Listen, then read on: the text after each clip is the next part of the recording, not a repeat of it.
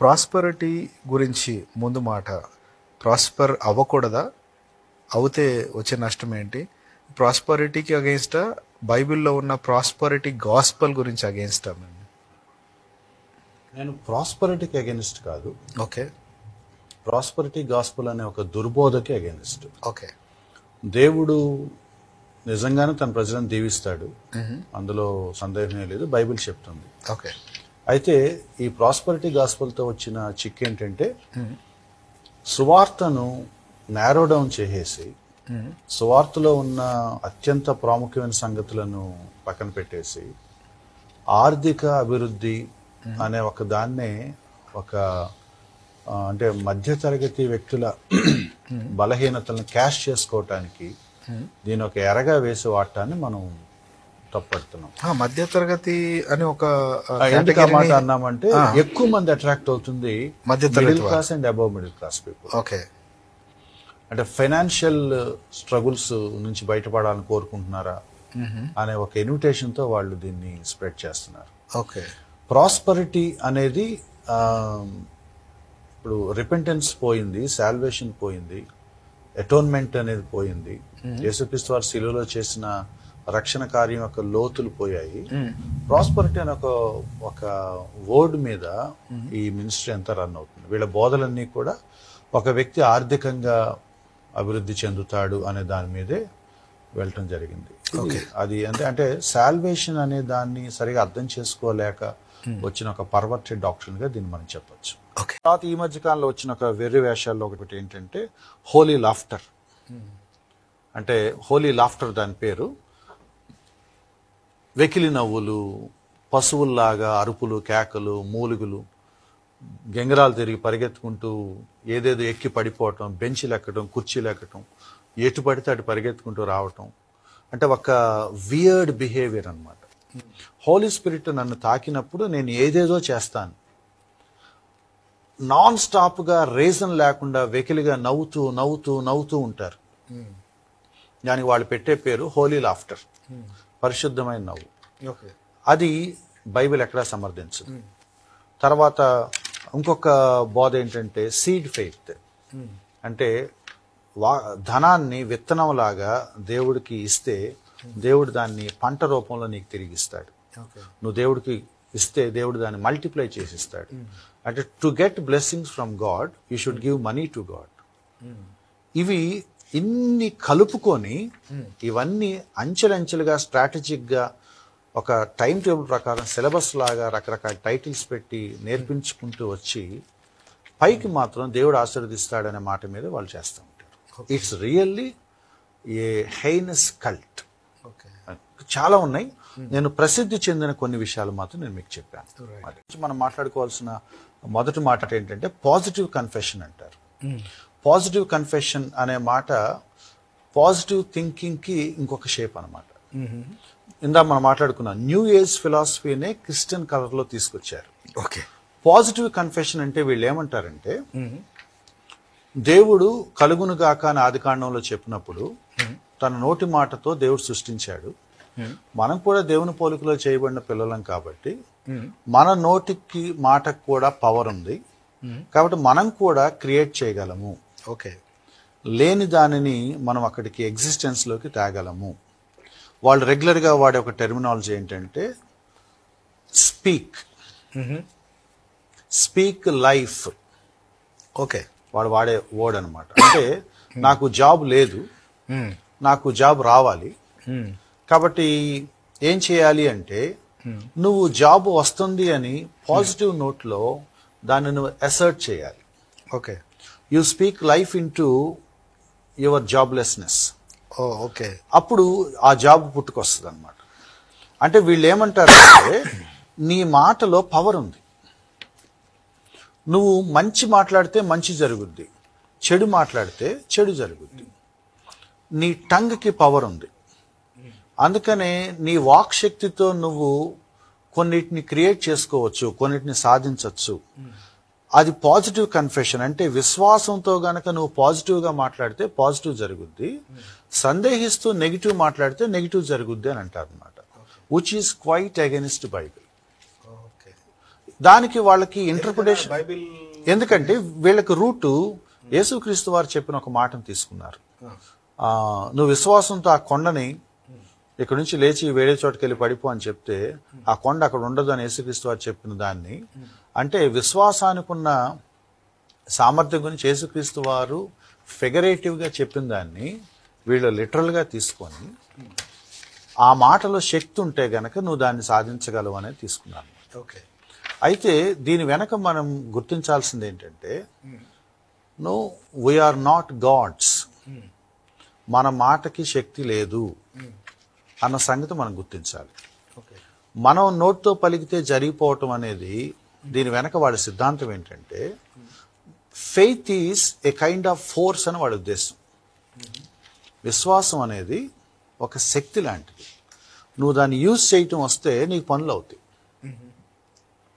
Bible అలా చెప్పట్లేదు. దేవుడు నాకు ఒక విషయం చేసినా చేయకపోయినా దేవుడు ఎటువంటి వాడు అనే ఆయన వ్యక్తిత్వాన్ని బట్టి నాకు కలిగే నమ్మకం విశ్వాసం. నాకు ప్రార్థన జవాబిస్తాడు నమ్మకం నాకు ఉంటుంది. నాకు ప్రార్థన జవాబు రాకపోయినా కూడా ఆయన మీద నా నమ్మకం చెదిరిపోదు. ఓకే.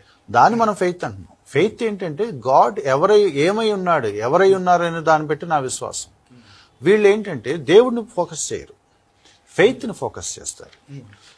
ఒక ఆయన చమత్కారంగా ఏమన్నా అంటే ఒక theologian they have faith in their faith అంటే వాళ్ళ దేవుడి మీద నమ్మకం కాదు వాళ్ళ విశ్వాసం మీద వాళ్ళ నమ్మకం. ఈ ప్రాస్పరిటీ గాస్పల్ అనే ఈ మాట బైబిల్లో నుంచి వచ్చిందా? బైబిల్ పక్క నుంచి వచ్చిందా? ఎక్కడి నుంచి పుట్టుకొచ్చింది దీని చరిత్ర ఏంటి? మీరు అడగటం బాగుంది.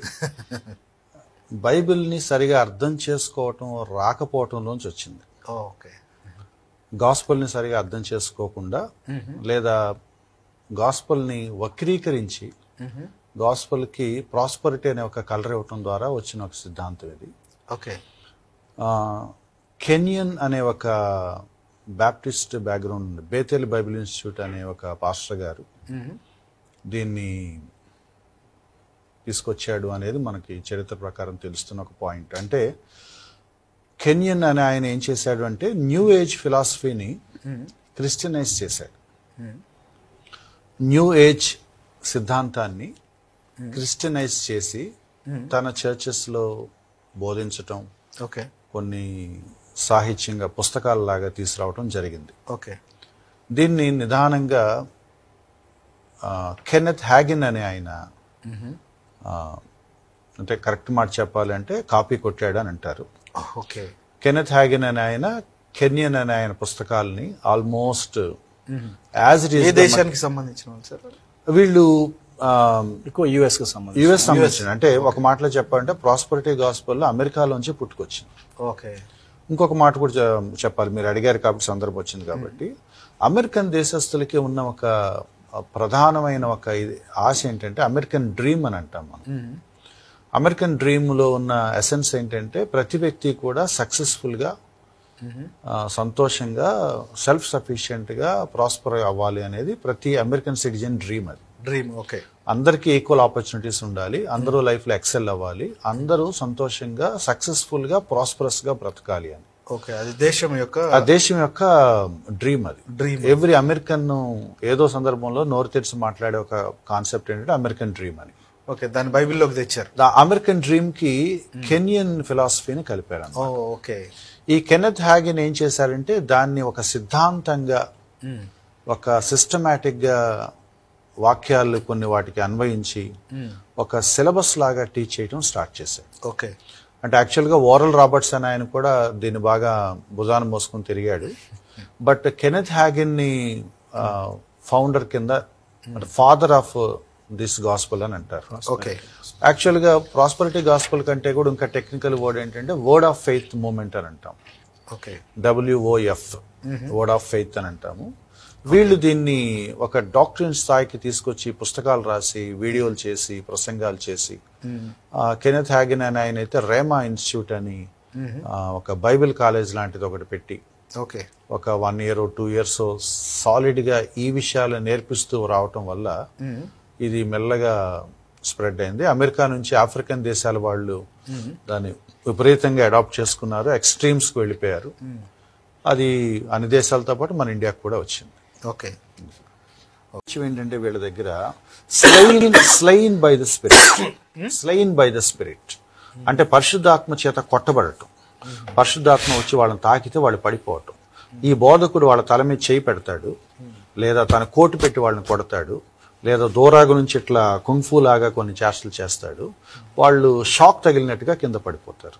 పరిశుద్ధాత్మ వాళ్ళని కొట్టాడు తాకాడు అని వాళ్ళు చెప్తారు.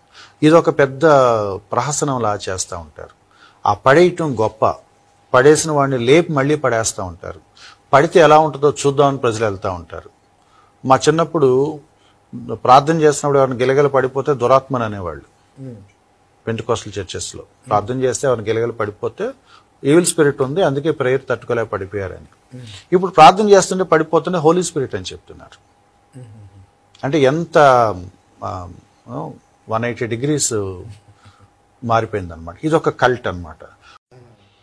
ఏ లోకాశల్లో అయితే భోగేచ్ఛలు విలాసాలు లావిష్నెస్ అయితే మనం మాట్లాడుతున్నామో అవి మళ్ళీ ప్రాస్పరిటీ గాస్పల్ పేరు మీద అవే బోధిస్తున్నారు. పైగా దానికి నిజంగానే ఒక ఆయన ఒక థియోలాజన్ ఏమన్నాడంటే ప్రాస్పరిటీ గాస్పల్ వెనకాల గ్రీడ్ ఉంది అన్నాడు. దురాశ ఉంది. అంటే నీకు ఏది కావాలో అది అడుగు దేవుడిస్తాడు. ఒక ఈ ఈ దుర్బోధలో ఉన్న దారుణమైన దుర్బోధ ఏంటంటే దేవుడు అందరికంటే రిచెస్ట్ పర్సన్ ఈ సృష్టిలో కాబట్టి దేవుడి పిల్లం మనం కూడా బాగా రిచ్గా ఉండాలి అని. రెండవది బిల్ విన్స్టన్ అని ఆయన అన్నమాట. అనమాట ఆయన ఏమన్నాడంటే లోకస్తులకి విశ్వాసులకి ఉండాల్సిన డిఫరెన్స్ ఏంటంటే వాళ్ళ ఆర్థిక పరిస్థితి. నేను ఎంత రిచ్గా ఉంటే అంత బ్లెస్ చేయబడ్డాను కాబట్టి దాన్ని బట్టి నేను దేవుణ్ణి బిడ్డనని చెప్పుకోవడం అయితే ఇక్కడ వర్కౌట్ అవ్వని ఒక ప్రిన్సిపల్ ఏంటంటే ఎంతమంది రిచెస్ట్ పర్సన్స్గా ఉంటారు? వాళ్ళ వాళ్ళ డాక్టర్ ఏంటంటే a Christian should be the richest person in the world ఎంతమంది రిచెస్ట్ పర్సన్స్గా ఉంటారు? అంటే అచ్చంగా ధన వ్యామోహం వైపు వెళుతున్న బోధ. ఓకే. బోధించేవాడు ధనాశతో బోధిస్తాడు వినేవాళ్ళకి ధనాశ రేపెట్టించి మీకు కూడా నాలాగే తయారవుతారు. You see any prosperity preacher ఎంత రిచ్ ఎక్స్ట్రాడినరీ బట్టలు వేసుకొని కనపడతారో అది ప్రజలను మోసం చేస్తున్నారు. That is not how they live their everyday life వాళ్ళు స్క్రీన్ మీద కనపడినప్పుడు స్టేజ్ మీద కనపడినప్పుడు ఎంత రిచ్గా కనపడతారో అది రియాలిటీ కాదు ప్రజలు మోసపోవద్దు. ఓకే ఆ స్థాయికి మనం వెళతామని కోరుకోవటమే తప్పు. అలా నేను ఆ స్థాయికి వెళ్ళాలని కూడా మనం కోరుకోకూడదు. Whatever God gives me that he gives by grace దేవుడు నాకు ఏది ఇస్తాడో అది కృపను బట్టి ఇస్తాడు నేను ఎవరినో చూసి వాళ్ళలాగా ఉండాలని అనుకోకూడదు. దేవుడు నన్ను నాలా చేశాడు మిమ్మల్ని మీలా చేశాడు. ఓకే జాక్ పునర్ అనే భక్తుడు అన్న మాట ఏంటంటే దేవుడు కొంతమంది రిచ్ పీపుల్గా ఉంచాడు దేవుడు కొంతమంది పూర్ పీపుల్గా ఉంచాడు. అండ్ దేవుడు వాడిని టెస్ట్ చేస్తాడు. నువ్వు ఏ స్థితిలో ఉన్నావో విశ్వాసం నమ్మకంగా ఉన్నావో లేదో చూస్తాడు. ఏ స్థితిలో పిలువబడ్డాం ఆ స్థితిలో ఎలా ఉన్నామో అని చూస్తాం. లోకంలో ఉన్న గ్రీడ్ని దేవుడు నమ్ముకున్న తర్వాత కూడా మళ్ళీ మనం వెంటాడుతున్నాము అంటే తిమోతి పత్రిలో ఉన్న మాట అనమాట ధనవంతుల ఒకటికి అపేక్షించటం వద్దు. డేంజరస్ థింగ్ అది. అది అక్కడ కొన్ని మాటలు నేను- చదవాలండి. ఆ ఒక్క వచ్చి నేను చదివి నేను మీకు టైం ఇచ్చేస్తాను. తిమోతి పత్రిక ఆరో అధ్యాయంలో ఈ వార్నింగ్స్ ఇస్తూనే ఈ మాట అన్నాడు. ఆరో అధ్యాయం తొమ్మిదో వచ్చిన మొదటి తిమోతి పత్రిక. ధనవంతులవుటకు అపేక్షించువారు ఈ మాటలు వినాలండి. శోధనలోను ఉరిలోను అవివేకయుక్తములైన హానికరములైన అనేక దురాశల్లో పడతారు. తర్వాత దాని పక్కనే ఉంది. అట్టివి మనుషులను నష్టములోను నాశనములోను ముంచివేయను. ఓకే. నేను చాలా సార్లు ఛాలెంజ్ చేశాను I really want to hear a prosperity preacher to preach on one Timothy six chapter okay. ఏం చెప్తారండి? I really want to listen to a prosperity preacher to preach on match six మీరు భూమి మీద పంట కూర్చో డబ్బులు కూర్చుకోవద్దు. పరలోకంలో కూర్చుకోండి. మీరు దేవునికి సిరికి దాసులుగా ఉండలేరు. నీ హృదయం ఎక్కడ ఉంటుందో నీ ధనం ఎక్కడ ఉంటుందో నీ హృదయం ఎక్కడ ఉంటుంది? వీటికి ఏమైనా మీనింగ్స్ చెప్తారండి వాళ్ళు? యోబు గ్రంథాన్ని ఏమని బోధిస్తారు? పేతృపత్రికని ఏమని బోధిస్తారు? హెబ్రి పత్రిక కింద బ్రదర్ చూపించినట్టు పది పదకొండు పన్నెండు అధ్యాయులు ఏమని బోధిస్తారు? తిమోతి ఆరు ఏమని బోధిస్తారు? They can never preach on this passages అండి మాట్లాడినా కల్పించి వక్రీకరించి ఏదో చెప్తారు కానీ ఇక్కడ ఉన్న స్ట్రిక్ట్ వార్నింగ్స్ వాళ్ళైతే చెప్పలేరు. ఎందుకంటే వాళ్ళు కావాలని ప్రజలు మోసం చేయడానికి డిసైడ్ అయ్యారు. అండ్ తక్కిన వాటిలో నుంచి వేటిలో నుంచి అయితే తాము సమర్థవంతంగా చెప్తున్నాం అనుకుంటున్నారో అవి కూడా వక్రీకరించినవి చెప్పినవే. ఇవి మాత్రమే వక్రీకరిస్తారని కాదు అవి కూడా వక్రీకరించినవే. వేటినైతే వదులుకోమని బైబిల్ చెప్తుందో వాటిని వెంబడించమని వెతకమని వీరు బోధిస్తున్నారు.